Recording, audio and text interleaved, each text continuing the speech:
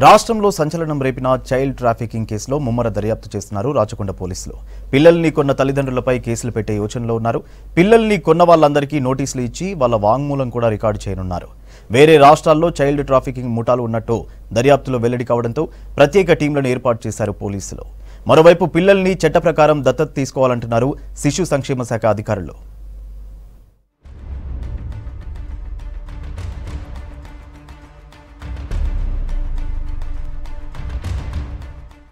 సిటీలో చిన్నపిల్లల అమ్మకాల ముఠా గుట్టురట్టు చేశారు రాచకొండ కమిషనరేట్ పోలీసులు. అంతర్రాష్ట్ర ముఠాను అదుపులోకి తీసుకున్నారు మేడిపల్లి పోలీసులు. ఇతర రాష్ట్రాల్లో పిల్లలను అపహరించి ఇక్కడ అమ్ముతున్నారని నిందితులంతా ఏపీ తెలంగాణ రాష్ట్రాలకు చెందిన వారేనని తెలిపారు. పిల్లలను దత్తత తీసుకోవడం అనే ప్రాసెస్కు రెండేళ్ళ టైం పడటంతో ఇల్లీగల్గా షార్ట్కట్ పద్ధతులతో పిల్లలను కొంటున్నారని తెలిపారు పోలీసులు.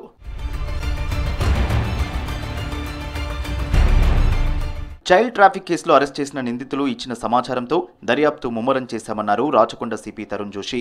ఈ కేసులో కీలక పాత్రగా ఉన్న కిరణ్ ప్రీతిల కోసం వేట మొదలు పెట్టామన్నారు సిటీలో యాభై మందికి పైగా చిన్నారులను అమ్మినట్లు విచారణలో తేలిందన్నారు. వీరిలో పదహారు మందిని గుర్తించామని పదకొండు మంది చిన్నారులను మహిళా శిశు సంక్షేమ శాఖ ఆధ్వర్యంలో ఉన్న శిశు సంరక్షణ కేంద్రానికి తరలించామన్నారు.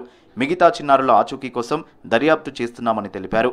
స్పెషల్ టీం ద్వారా ఏ రాష్ట్రాల్లో ఈ ముఠా కార్యకలాపాలు చేపట్టిందో ఆరా తీస్తున్నామని ప్రస్తుతానికి ఒక స్పెషల్ టీం ఢిల్లీ వెళ్ళిందన్నారు Rachakonda police commissioner.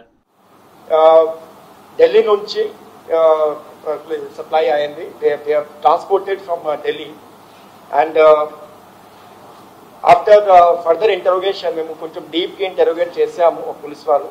And then we came to know about many other people ఈ తర్వాత కొన్ని మనిషిది లేయర్ వన్ ఏజెంట్స్ తర్వాత వాళ్ళకి సహాయం ఆ, చేయడానికి వాళ్ళు layer two agents and sub agents అన్నీ మాకు దొరికింది.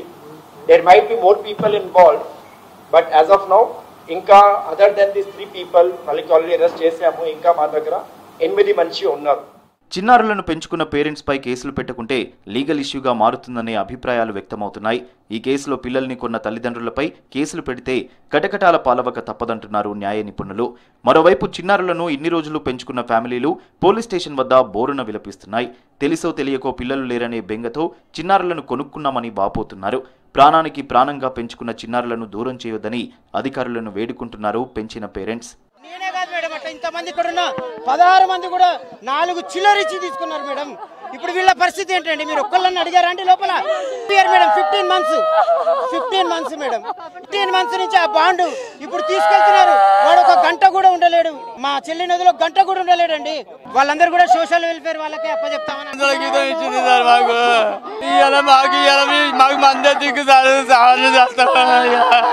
అన్నప్రాసం చేసుకుని చేసుకున్నాం బాగా చూసుకుంటాం మేము. ఇంతలోకి తీసుకొచ్చి ఆ పిల్లల్ని తీసుకొచ్చి ఇక్కడ తీసుకొచ్చి బయటికి తీసుకెళ్ళిపోతే మేమేమైపోవాలి ఇప్పుడు? పిల్లల పట్టుకు మేమేమైపోవాలి అంటున్నాం.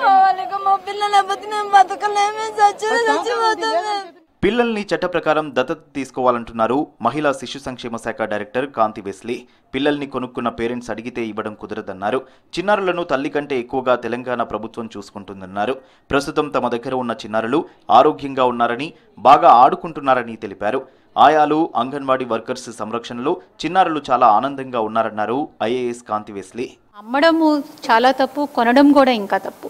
సో ఇప్పుడు వచ్చి ఆ బిడ్డకి బాండింగ్ ఏర్పడింది ఇవ్వండి అని అంటే యాజ్ ఏ మదర్గా యాజ్ ఏ ఒక హ్యూమన్గా ఐ కెన్ అండర్స్టాండ్ దేర్ కానీ ఈ ఇది ఇట్లనే మేము ఎంకరేజ్ చేయాలనుకోవట్లేదు.